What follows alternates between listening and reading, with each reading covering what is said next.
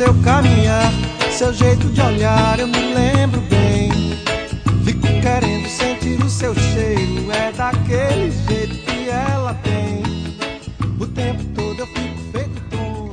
siempre